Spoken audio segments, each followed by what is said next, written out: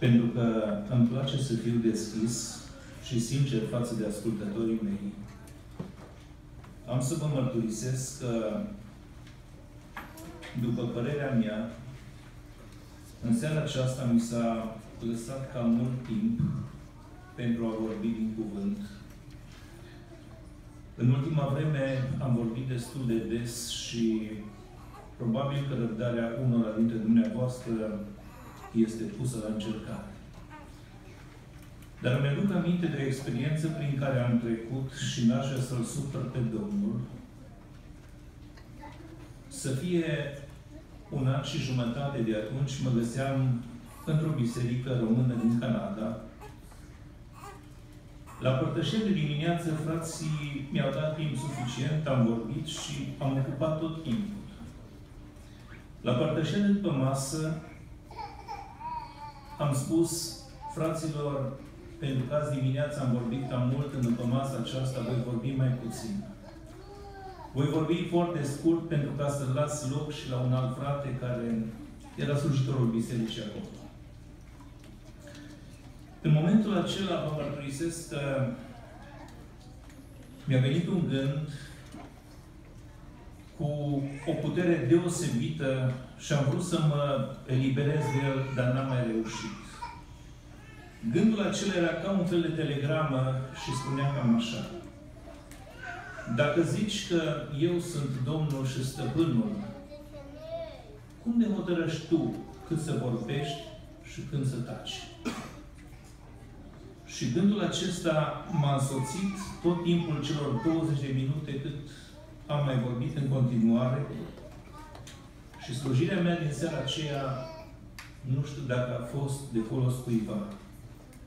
Dar pentru mine a fost o lecție. De aceea, dacă atâta mi-a fost rândit în seara aceasta pentru cuvânt, voi încerca să stau la dispoziția Domnului și rog pe El să-mi dea cuvântul de care Biserica are nevoie. Amin. În ultima vreme, spuneam și azi dimineață, am luat din Scriptură o seamă de texte biblice cu caracter de învățătură, care vorbeau despre persoana și lucrarea Duhului Sfânt.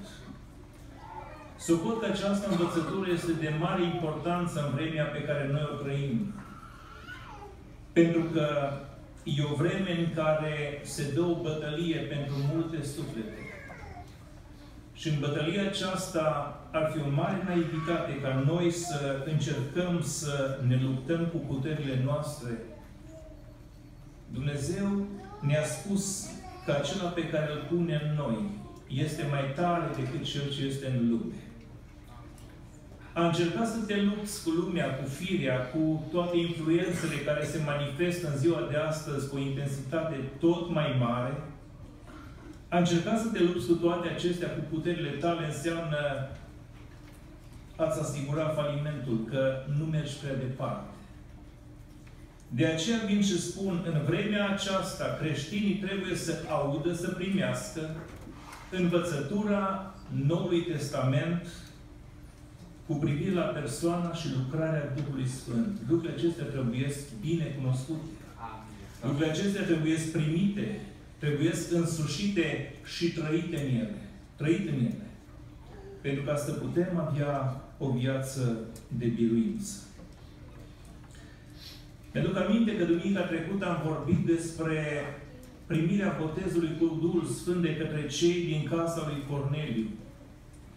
Și atunci am încercat să pun accentul pe o expresie foarte importantă. Expresia ca și noi. Expresia aceasta în Cartea Faptele Apostolilor se repetă de mai multe ori.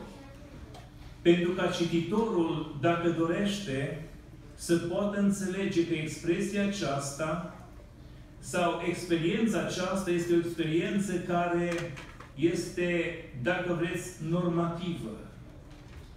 Noi ne lăudăm și spunem că avem o credință de același preț cu a Sfinților din vechime. Dar credinței Sfinților din vechime, mulți predicatori din ziua de astăzi și-au permis să-i aducă îmbunătățiri, abdatări, aduceri la zi. Nu-i de mirare că sunt atât de multe falimente printre creștini în vremurile noastre. Atunci când creștinii erau serioși și sinceri cu Cuvântul lui Dumnezeu, falimentele printre ei, eu cred că erau mult mai puține.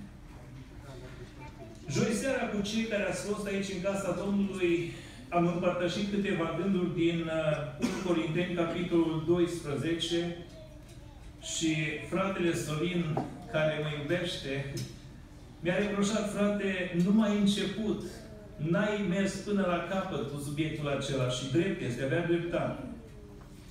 În acel capitol 12 din 1 Corinteni se vorbea despre darurile Duhului Sfânt. Corintenii aveau o problemă și vă rog să o înțelegeți bine. Între ei se manifestau darurile Duhului Sfânt. Problema era că ei nu adoptau o atitudine potrivită față de manifestarea darurilor. Și când Pavel ne spune sunt felurite daruri, dar este același Duh, el încearcă să corecteze o problemă din gândirea lor. Ei au observat că sunt daruri diferite și au spus care dintre ele este darul Duhului Sfânt. Dacă este un Duh, atunci ar trebui să fie un dar. O manifestare a puterii acelui Duh Sfânt în viața cuiva. De ce sunt mai multe? Și pornit de la această observație, între ei se vor fi iscat și discuții, certuri poate. Și atunci când creștinii ajung la lucruri de felul acesta, să știți că viața bisericii are de suferit. Pavel zice, fraților, voi trebuie să înțelegeți, chiar dacă darurile sunt diferite, este același Duh care le-a dat. Chiar dacă slujirile sunt diferite, este același Domn în slujba căruia ele sunt împlinite. În seara aceasta și azi dimineață am ajuns să abordăm subiectul acesta al roadei Duhului Sfânt. Cu privire la daruri, Pavel a spus-o limpede.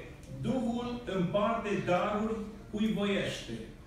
Știe Duhul Sfânt mai bine decât oricare dintre noi ce dar este nevoie în biserică. Dacă ar fi după mintea noastră, noi am alege dintre cele mai spectaculare, dintre cele care surprind, dintre cele care impresionează, care câștigă admirația bisericii. Dar Duhul Sfânt gândește altfel decât noi. Și El știe fiecare dintre noi ce dar să-i dea, în funcție, spuneam joi seara, de nevoile și situațiile prin care trece biserica din loc, pentru că cel credincios echipat cu darurile Duhului Sfânt el trebuie să fie în slujba Domnului și a Bisericii, a fraților. Darurile le împarte așadar Duhul Sfânt după cum voiește. Și niciodată Duhul lui Dumnezeu nu mă va trage și Dumnezeu nu mă va trage la răspundere dacă eu am sau dacă nu am în dar, un anumit dar. El decide, iar eu trebuie să-l primesc, trebuie să-l înflăcăresc, trebuie să-l pun în slujba Domnului. Dar dacă Domnul mi-a dat darul ăsta, nu mă va trage niciodată la socoteală de ce nu l-am pe ăsta Cu privire la roadă însă lucrurile stau puțin diferit. Pentru că roada Duhului Sfânt este cerută de la fiecare credincios care pretinde că îl are pe Duhul Sfânt în viața lui. Cu privire la roada Duhului Sfânt, nu există oameni sau credincioși care, să zicem, uh, au uh, obligația să dovedească roada și credincioși care nu au responsabilitatea aceasta. Toți credincioșii în care locuiește Duhul lui Dumnezeu trebuie să facă dovada roadei Duhului Sfânt. Și aș îndrăzni să spun că această roadă despre care Pavel vorbește aici este descrierea caracterului Domnului Isus Hristos. Noi suntem chemați să ne asemănăm cu Domnul nostru. El este Domnul și noi mergem pe urmele Lui. Și aceast, aceste nouă trăsături se regăsesc din belșug în viața Domnului Isus, în caracterul Lui. Și trebuie să prindă contur și în viața noastră. Pentru aceasta am fost echipați cu Duhul Sfânt. N-aș vrea să creadă cineva că eu spun că lucrarea Duhului Sfânt în viața noastră se rezumă la atâta. Asta este doar o latură a lucrării Duhului Sfânt. Pentru că, pe de altă parte, Duhul Sfânt ne echipează și ne dă putere pentru a sluji pe Domnul, pentru a purta mărturia, pentru a suporta greutățile vieții de aici. Dar în același timp, subliniez, lucrarea Duhului Sfânt este să ne aducă într-o tot mai mare asemănare cu Hristos. Doamne, fă în noi lucrarea aceasta. Amin? Înainte de a vorbi, de a mă apropia de cele nouă trăsături ale roadei, aș vrea să-mi permiteți să mai amintesc ceva. Apostolul Pavel zice în versetele 16 și 17, zic da, umblați cârmuiți de Duhul și nu împliniți poftele firii pământești. Căci firea pământească poftește împotriva Duhului și Duhul împotriva firii pământești. Sunt lucruri protivnice unele altora, așa că nu puteți face tot ce voiți. Frații mei, ați înțeles bine împreună cu mine. Nu putem face tot ce voim. Lucrul ăsta nu place multora dintre credincioși vremurilor noastre. Și vreau să vă spun cu tristețe, în marile adunări pe care le vedeți și vă minunați că sunt de mari și cât de mulți credincioși sunt acolo, nu li se spune oamenilor de acolo că ei nu pot face ceea ce voiesc. În Biserica Domnului nu este democrație. Nu face nimeni ce vrea el. Fratele Pavel avea o vorbă, nu-i ceapeu să facă fiecare ce vrea. Tinerii nu știu ce e aia, dar părinții știu, să le explice, le explice acasă. Odată ce ne-am întors la Dumnezeu, ce l-am declarat pe Domnul Isus ca Domnul al vieții noastre și am decis că mergem pe urmele Lui și am, am fost întrebați în apa botezului până când? Până la moarte. Atunci noi ne-am rolat într-o armată și nu mai avem voie, nu mai putem face tot ce vrem.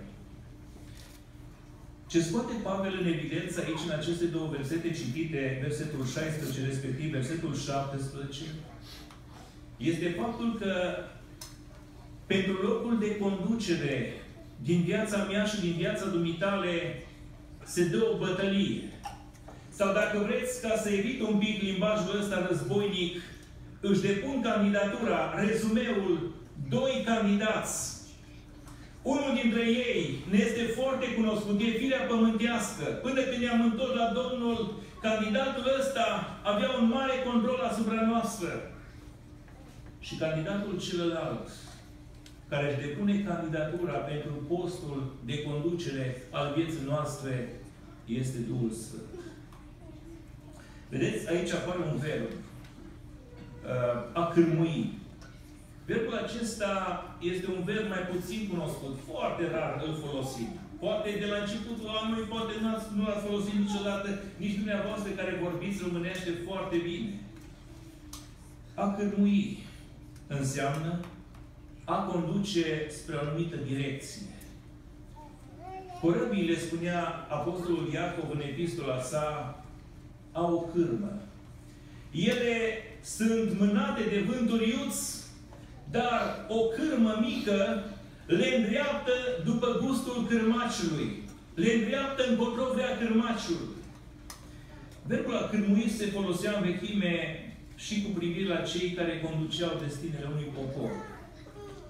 Ei cârmuiau poporul și erau numiți cârmuitori. La cârma vieții noastre își depun candidatura două personalități, dacă vreți. Firea pământească și Duhul Sfânt.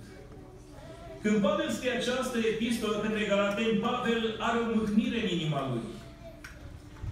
Prin bisericile din Galatia, pentru că Galatia era o regiune, nu era o biserică, era o regiune în care erau mai multe biserici locale.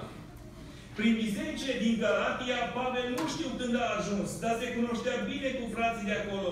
Le-a propovăduit Evanghelia Harului, au primit oamenii aceștia Evanghelia și au mers bine pentru o vreme. Dar după ce Pavel a plecat de acolo, pe urmele lui au venit o seamă de învățători pe care teologii au numit iudaizatori. Și oamenii aceștia au spus, învățătura lui Pavel nu este suficientă. La ceea ce v-a spus Pavel, voi trebuie să mai adăugați ceva. Și până la urmă, acei învățători meșteri la vorbă, i-au adus iarăși pe credincioși la un fel de legalism ciudat. Și Pavel aude de lucrul acesta, este întristat, pentru că acolo unde el a semănat învățătură sănătoasă, au venit și alții și au semănat lucruri stricăcioase. Și mustră pe frații din uh, bisericile Galatii. Dacă vă veți uita acolo când Pavel descrie faptele firii pământești, sunt numite vreo 15 dintre ele. Și lista este departe de a fi încheiată, pentru că Pavel în final spune așa. Și alte lucruri asemănătoare cu acestea. Și el spune, fraților, vă spun mai dinainte, cum am mai spus, cei ce fac astfel de lucruri nu vor moșteni împărăția lui Dumnezeu. Între lucrurile firii pământești, dacă vă veți uita cu luarea minte, dacă veți analiza unul câte unul toate lucrurile amintite în cele, în, aici, în această listă, veți vedea că unele țineau de viața trăită în păgânism înainte de a se întoarce la Hristos. Dar altele țineau de viața aceasta nouă, de, de creștinismul legalist. Care sunt acestea? Neînțelegerile, dezbinările, certurile de partide și mai erau și altele. Dar nu le amintesc de toate. Pavel spune, fraților, Duhul Dumnezeu vrea să facă din voi ceva deosebit. Umblați cârmuiți de Duhul. Așa începe Pavel. Urmați, umblați cârmuiți de Duhul și nu împliniți poftele firii pământești.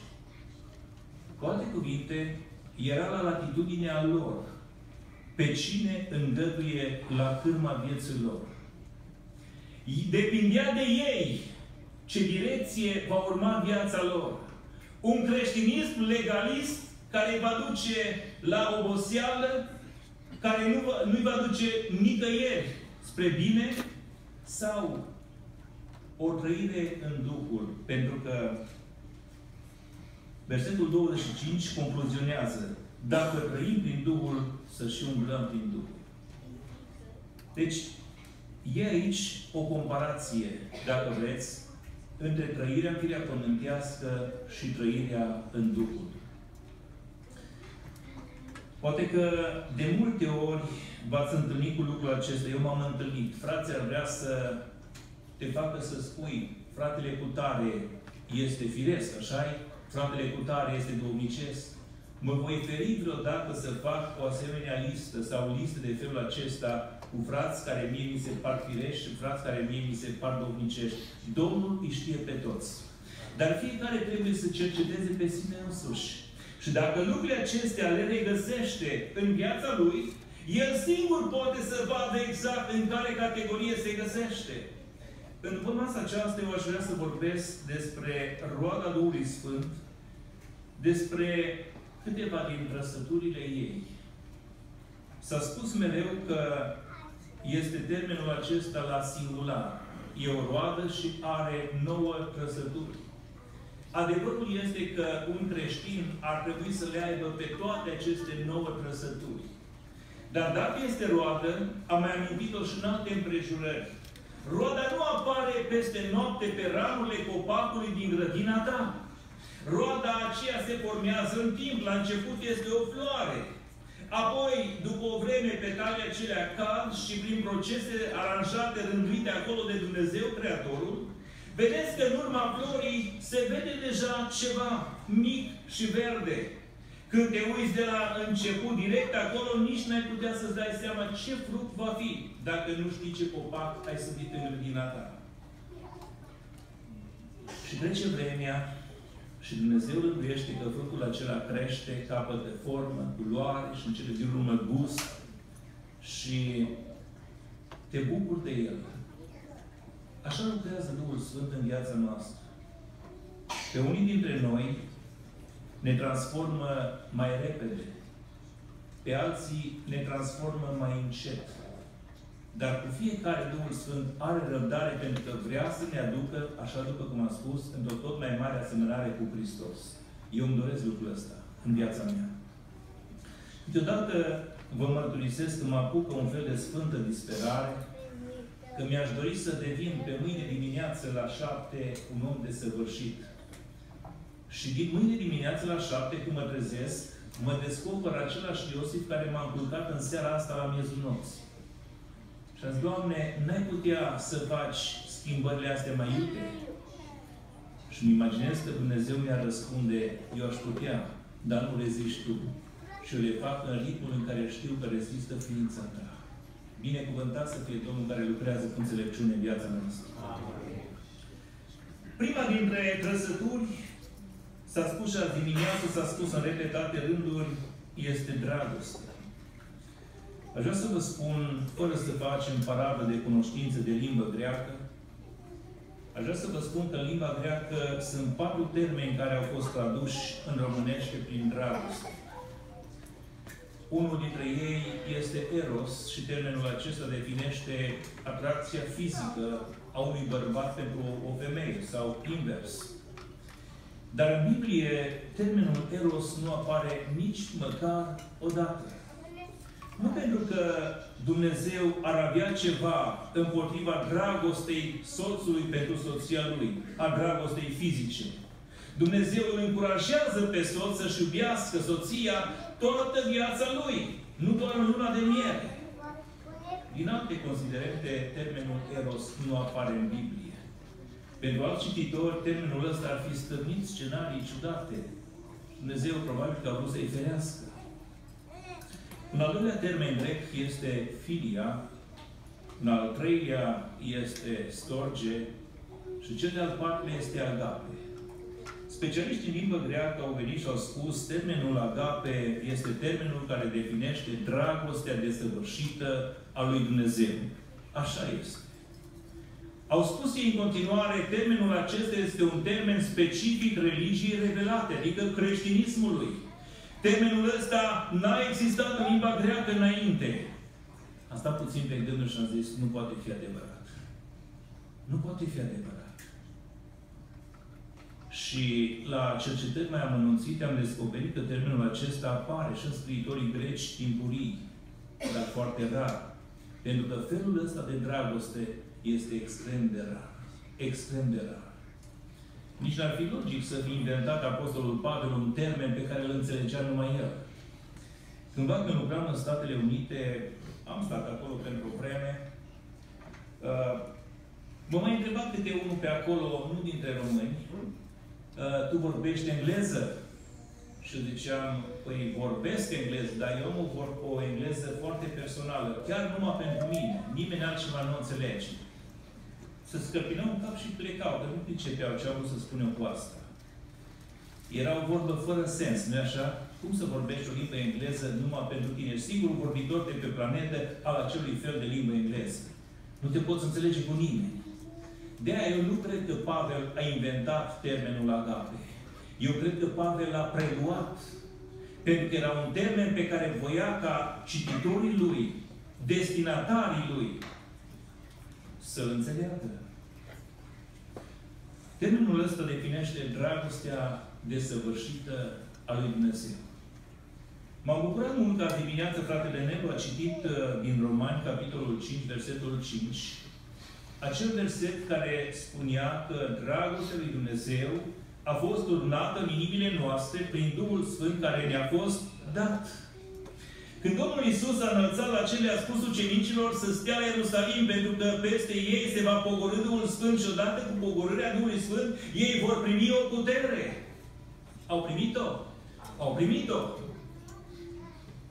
Dar odată cu primirea Duhului Sfânt, cu primirea acelei puteri pe care o duce Duhul Sfânt, creștinul în care a venit Duhul Sfânt a primit ceva din dragostea lui Dumnezeu. Am să folosesc aici un exemplu din viața de zi cu zi ca să mă înțelegeți mai bine. Când eram copil, tatăl meu căuta în gardurile țarii de pe la noi lăstari de pomi sălbatici, pomi sălbatici. îi curăța frumos la rădăcină, îi scotea de acolo, îi ducea acasă. Îi planta acasă. Și se prindeau. Dar nu aștepta să culeagă rod din ei. După ce erau prinși bine, știți ce făcea? Îi albe. Adică îi reteza, le făcea o crestătură, în crestătura aceea punea o mlădiță de la un copac care avea roade bune. Și apoi lega cu multă grijă, mai făcea el alte lucruri pe acolo. Eram copil și n-am văzut chiar tot ce făcea. Și în urmă, ă, copacul acela tânăr se dezvolta și făcea roade bune. Noi n-am putea să iubim cu dragostea lui Dumnezeu dacă Duhul lui Dumnezeu n-ar fi altoit în noi o măsură din dragostea lui Dumnezeu. Când Duhul lui Dumnezeu s-a pogorât în viața cuiva și a preluat controlul asupra vieții omului acelui, asupra creștinului aceluia, a altoit acolo o mlădiță din dragostea lui Dumnezeu. Și dragostea aceea trebuie să crească. Mântuitorul Iisus le-a spus ucenicilor săi într-o anumită împrejurare că ei trebuie să îi iubească până și pe vrăjmașilor. Aș vrea să citesc din Evanghelia după Matei pasajul acesta, care e foarte sugestiv.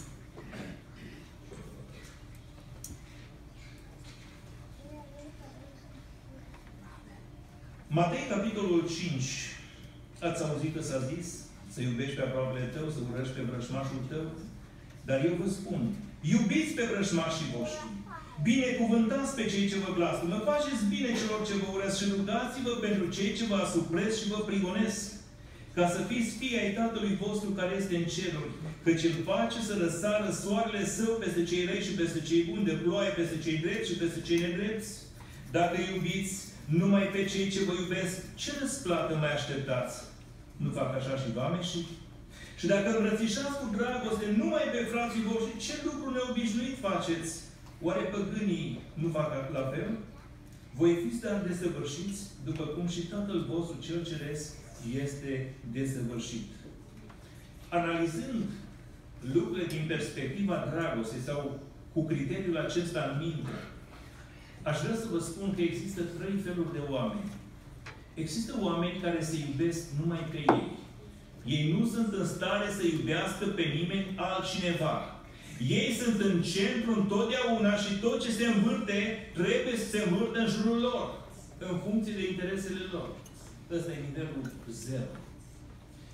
Există un al doilea nivel la care iată că ajung și și și chiar și păgânii. Să iubești pe cei ce te iubesc. Mă vorbești de bine, te iubesc. Uh, îmi faci de un bine. Uh, mi-ești drag, îmi place de tine. Să iubești numai pe cei ce te iubesc. Ăsta e un nivel un pic mai sus decât celălalt, dar nu destul. Pentru că creștinilor li se, cer, li se cere, și iată aici era foarte limpede arătat, să iubească chiar și pe vrăjmașii lor. Doamne, nu ne cer prea mult? După putere omenești, este prea mult. Să-ți facă rău și să-L iubești. Să te grăiască de rău și să-L iubești să scoată vorbe despre tine în diferite discuții când are ocazia și să-L iubești, nu ușor. Dar pentru asta îl avem pe Duhul Sfânt. Pentru că Duhul Sfânt trebuie să facă lucrarea aceasta în noi. Să ne ajute să iubim și pe aceia pe care, în mod obișnuit, natural, nu i-ai putea iubi. Doamne, ajută-ne să creștem în răsătura aceasta. Dragostea lui Dumnezeu trebuie să ne fie modelul. Dragostea lui Dumnezeu, să știți că nu este o dragoste interesată, motivată de interese materiale. Uite, un tânăr se uită după o tânără și ar vrea să, mă, să căsătorească cu ea, că e dintr-o familie înstărită. Se poate întâmpla și invers. Aceea nu dragoste. Dragostea lui Dumnezeu a fost dezinteresată.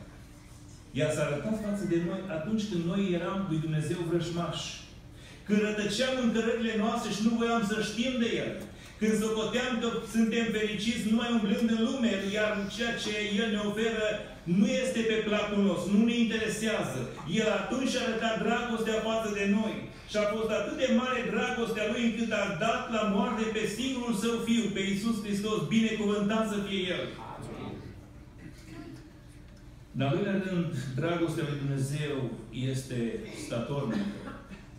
Ea nu se schimbă odată cu vremea. Întâlnit un soț care spunea, când m-am căsătorit cu ea, am iubit-o. Dar uite acum. ce e acum? Nu o să vă descriu situația, dar mirajem să particip la discuția aceea. E spus că iubești soției tale, e spus că iubești toată viața. Iubește toată viața. Dacă s-a schimbat puțin geometria, și la tine s-a schimbat, nici tu nu mai ești flăcăul de altă dată. Nu mai faci 50 de flotări în 3 minute. Să fii realiști. Iubește până la capăt. Fii statornic. Că Dumnezeu, în dragostea Lui, este statornic față de noi. De câte ori n-ar fi avut motive Dumnezeu să fie dezamăgit de mine? Dacă aș face o listă, ar trebui să mă duc cu un caiet acasă. Că Dumnezeu mă iubește. Și iarăși vin înaintea Lui, plâng, mă necăjesc, Doamne, iartă Dintr-o dată simt că îmi dăruiește iarăși pacea și îmi pune iarăși liniștea în inimă. Pentru că mă iubește. William Shakespeare spunea că aia nu-i dragoste care se schimbă atunci când întâlnește schimbare. Dumnezeu nu iubește cu jumătăți de măsură. Ce a, ce a dat pentru noi, ce a avut mai de preț. Putea să zică, oare dacă dau un înger, fratele Nelu Bala parcă spunea, dacă dă un înger știop pentru noi, sau nu știu eu, nu știu dacă există înger știop, n-am auzit niciodată. Dar Dumnezeu a dat ce a avut mai scump în cer. De aceea și noi suntem chemați să iubim pe Dumnezeu cu tot ce avem. Stă scris în Biblie că porunca cea mai mare este să-L iubești pe Domnul Dumnezeul tău cu toată inima ta, cu tot cugetul tău, cu tot sufletul tău, cu toată puterea ta. Și cuvântul cheie acolo este totul. Pentru că Dumnezeu nu vrea dragoste împărțită. Nu vrea să ai o parte din inimă îndreptată către lume și o parte către El. Dumnezeu vrea totul pentru El. Ajută-ne, Doamne, la aceasta. Și dragostea aceasta ar trebui să fie a noastră, dragostea noastră pentru semenii noștri ar trebui să fie croită după modelul dragostei pe care Dumnezeu arată în față de noi. Nu e așa că ne bucurăm să știm că Dumnezeu ne iubește? Ne bucurăm. Ne place să știm asta. Dar Dumnezeu vrea ca și noi să arătăm dragoste pentru semenii noștri. Al doilea rând, Domnul Apostolul Pavel vorbea aici despre bucurie. Și aș vrea să vă spun că una dintre cele mai greșite concepții despre viața de credință era aceea că în ea nu poți să te bucuri. Și eu am crezut așa. Când eram tânăr, mi-am dorit totdeauna să ajung pe salariu, să am posibilitățile mele, să mă bucur de ce îmi oferă lumea, chiar dacă undeva la capătul vieții o să remediez lucrurile și să mă împac cu Dumnezeu și după aceea să ajung să pun mâna și pe viața veșnică. Odată fiind într-o familie, vorbeam cu un copilaș de câțiva anișori și zice, când eu o să cresc mare, și am, aș vrea să fiu fioros. Dar nu știu ce înțelegea el prin cuvântul fioros. Dar mi-a spus el, totuși, zice, să știi că nu vreau să rămân așa. Gândește altceva. Dar să știți că mulți gândesc la fel. Oameni mari. Oameni mari. Oamenii cred că viața de credință, viața trăită pentru Dumnezeu, este o viață lipsită de bucurie. Este cea mai mare minciună livrată de vrășmași oamenilor. Adevărata bucurie este în a trăi cu Dumnezeu și pentru Dumnezeu. Înțeleptul Solomon scrie cartea Eclesiastul și în primele capitole scrie despre sine niște lucruri, dar stai pe gânduri, parcă nici nu vine să crezi că de el scrie. Zice el, am vrut să-mi veselesc inima și am tratat-o cu vin. Am vrut să îmi întreg semenii și am tot sădit, și livezi, și vii, și eleșteie, și de toate. Am avut tot ce mi-am dorit eu. Și distracții despre care nu vreau să vă vorbesc în seara asta. El și pe acelea zice că le-a încercat. Zice, tot ce mi-au văzut ochii și mi-au poftit inima, i-am dat și am zis, bucură-te inima. Însă, ajung la o concluzie că toate lucrurile acelea nu-i asigură nicio bucurie. O satisfacție pe moment, ca un balon care se sparge mâine dimineață, nu mai ai mâine nimic. Are creștinul bucurie? Fără îndoială că are. Pentru că o viață călăuzită și trăită în Duhul, călăuzirea Duhului Sfânt peste viața aceea, aduce bucurie. Am să vă citesc câteva lucruri din Cartea Sfântă care vorbesc despre adevărata bucurie pe care o are creștinul. Zice împăratul David, mă bucur când mi se zice, haidem la casa Domnului. Psalmul 122 cu versetul 1. Te poți verifica în ce măsură îl ai pe Duhul Sfânt și ești călăuzit de Duhul Sfânt, Duhul Sfânt. Dacă ți se spune, haidem la casa Domnului, cam care este reacția? Sunt unii care zic, iar? Numai ce am fost. Pentru că aminte că aveam o înțelegere cu mama.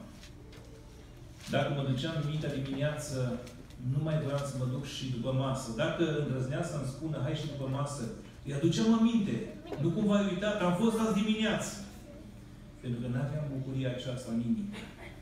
Dar de când Domnul s-a îndurat de mine, vreau să vă spun că îi mulțumesc lui Dumnezeu pentru fiecare împrejurare în care ușa casei de rugăciune de aici sau din altă parte se deschide și înaintea pașilor mei.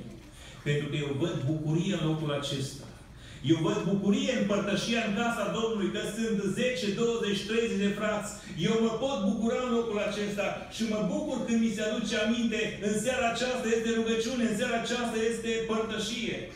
Eu nu trebuie să mă aduc aminte, că știu deja. O altă bucurie o experimentează creștinul când urmează învățăturile Domnului. Psalmul 119, versetul 14, psalmistul necunoscut, de glas unei bucurii pe care o experimentează toți copiii lui Dumnezeu care au pe Duhul Sfânt în viața lor. Când urmez învățăturile tale, zice el, mă bucur de parcă aș avea toate comorile. Iată o altă bucurie adusă de Duhul lui Dumnezeu în viața unui om care ascultă de Duhul lui Dumnezeu. Dacă ți se pare că poruncile lui Dumnezeu sunt cam multe și cam grele, dacă te întrebi, nu cumva asta a fost numai pentru Galateni, numai pentru Corinteni, nu cumva a fost numai pentru Efeseni, să știi că e o problemă acolo. Omul care este călăuzit de Duhul lui Dumnezeu se bucură să împlinească toate învățăturile lui Dumnezeu, că știe că sunt spre folosul Lui. La Micălaca, în urmă cu vreo 30-40 de ani, un frate a venit la fratele păstor și a zis, frate, nu este în Biblie un verset care să spună că ne putem bate soțiile când nu ne ascultă? Și spre dezamăgirea lui, fratele păstor Colovan a spus, așa ceva în Biblia noastră nu este. Pleca negăjit acasă. Fi vrut să fie și o asemenea poruncă.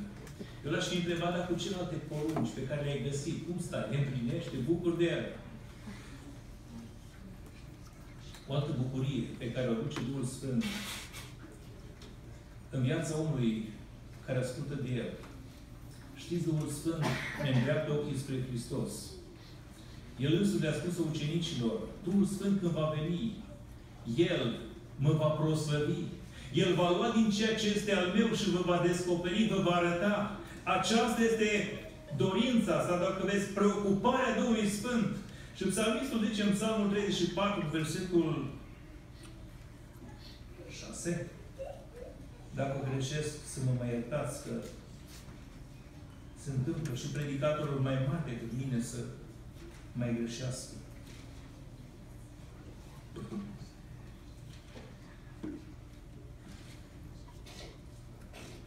Cinci. Când îți întorci privirile spre El, te luminezi de bucurie și nu ți se umple fața de rușine. N-aș vrea să zăbovesc foarte mult aici, dar ca o concluzie aș vrea să spun un lucru. Viața de credință, viața trăită în Duhul, este o viață plină de bucurie. Numai că bucuria aceea nu e ca bucuria celor din lume.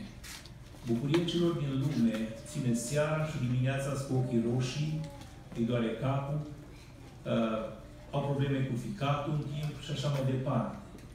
Bucuriile prin Duhul Sfânt sunt bucuriile care înnobilează caracterul, înfrumusețează viața omului. A treia trăsătură despre care Pavel vorbește fraților din uh, bisericile din Galatia, ca fiind adusă de Duhul Sfânt și dezvoltată de Duhul Sfânt în viața lor, este pacea. Aș vrea să vă spun că am ajuns la o constatare văzând cam cum merg lucrurile în lume. Vrăjmașul lui Dumnezeu și vrăjmașul nostru a reușit să pune pace dintre oameni. Ați văzut câte familii se năruiesc pentru că le-a fost furată pacea. Ați văzut câte conflicte sunt în lume pentru că le-a fost furată pacea. Ați văzut câte biserici se părămițează, se rup, se desprind una de alta, se împart în grupuri, pentru că de acolo vrășmașul a furat pacea. Dar Duhul lui Dumnezeu, acolo unde este ascultat, primit, iubit, El aduce acolo pace și dezvoltă pacea. Eliu punea o întrebare. Dacă El dă pacea, cine poate să o ia? E bună întrebarea asta. Dumnezeu este Cel care dă pacea. Dar dacă nu ești atent, dacă nu ești atent, pacea pe care ți-o dă Dumnezeu poate să-ți fie furată. Și acum vreau să vă spun o experiență personală. Poate că vă este cunoscută, familiară, poate că ați experimentat-o, străită. De câteva zile mă găsesc într-o stare sufletească, parcă nu grozavă și n-aș vrea să rămân multă vreme în starea aceasta. Nu știu, o problemă de sănătate, o problemă sufletească. În zilele următoare Dumnezeu probabil că mă va ajuta să înțeleg. Dar astăzi, circulând cu mașina, mergeam, vorbeam cu soția mea pe mașină, nu știu să fi făcut vreo comandă, vreo manevră greșită. Destul din mașina de alături, două femei tinere, două fetișcane, aș putea să spun, au început să protesteze, să vocifereze, să-mi arate un anumit dege de la mâna lor, nu ăsta. Și am întrebat, ce s-a întâmplat? Nici vorbă de răspuns. Iar o serie de gesturi, de... Și știți ceva? M-a tulburat teribil. Aș fi vrut să întreb civilizat. Spuneți-mi cu ce am greșit că îmi cer iertare. N-ai avut cine discuta. Oamenii din ziua de azi sunt foarte educați. Dar educația nu le-a adus pacea în inimă. Pacea o aduce numai Duhul lui Dumnezeu. Și înainte de a veni spre casa Domnului seara aceasta, m-a rugat și am zis, Doamne, Tu știi că pacea mea a fost tulburată azi, dă-mi iarăși pacea. Va trebui să vorbesc din cuvânt. Cum să vorbesc despre pace când, când după masa aceasta am avut așa o stare? Adevărul este că un creștin se poate bucura de pace în cele mai potrivnice condiții. Atunci când știi că soarta ta e în mâna lui Dumnezeu, atunci când nu aștepți nimic de la lumea aceasta, că știi că ceea ce este al tău este pus deoparte, atunci te poți bucura de pace. Trăim într-o vreme în care pacea a fost luată de pe pământ. Nu știu cum va arăta anul următor, dacă Dumnezeu va îngădui istoria să curgă în continuare. Dar cu toate strădanile oamenilor politici, pacea nu va putea fi atinsă în felul acesta. Numai dacă ascultă de Cuvântul lui Dumnezeu. Pentru că oamenilor care ascultă de Cuvântul lui Dumnezeu, Dumnezeu le chezășuiește pacea. Adică le-o garantează. Este pace în inima ta? Este pace în casa ta? Este pace, o atmosferă de pace în jurul tău la lucru, între colegii tăi la școală? Fericii de făcătorii de pace, căci ei vor fi chemați fii ai lui Dumnezeu. O altă trăsătură ar fi de lungă răbdare, Dar n-aș vrea să vă pun la încercare în seara aceasta. Eu mă voi opri aici cu dorința de a continua această cercetare a trăsăturilor roadei Duhului Sfânt, pentru că trebuie aceste lucruri să prindă chip în viața noastră. Nu știu cum stați. Eu nu stau foarte bine. Mi-aș dori să stau mai bine. Mi-aș dori să semăn cu Hristos. Dar încă n-am ajuns acolo. Dumneavoastră cum stați? Poate că stați mai bine ca mine. Aș vrea să vă spun. Duhul lui Dumnezeu ne poate veni în ajutor ca aceste trăsături să prindă chip în viața noastră și Dumnezeu se bucure de noi. Amin. Amin.